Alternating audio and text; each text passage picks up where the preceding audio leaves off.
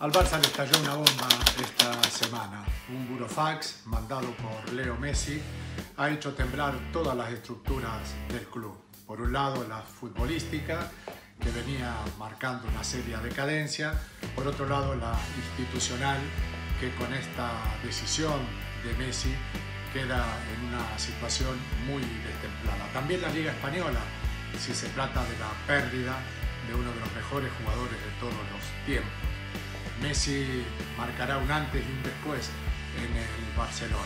Desde luego que este capítulo que acaba de abrirse es solo el principio de una historia que se prolongará en litigios seguramente que pondrán enfrente a Messi con su club de toda la vida. Todo el mundo se pregunta por qué Messi toma esta decisión tan extrema yo creo que hay dos circunstancias que chocan entre sí. Primero, que Leo tiene 33 años y no se debe sentir con fuerza por sí solo para resolver todos los problemas que tiene el Barcelona.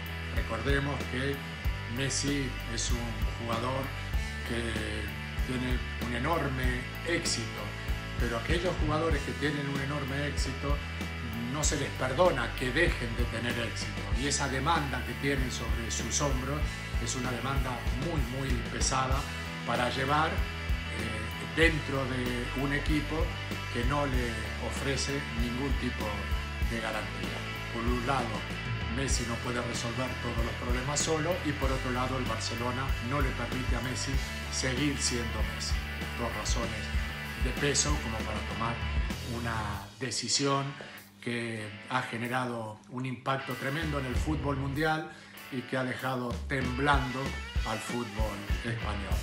La historia seguramente seguirá, pero eh, lo de Messi y el Barcelona me parece que es un punto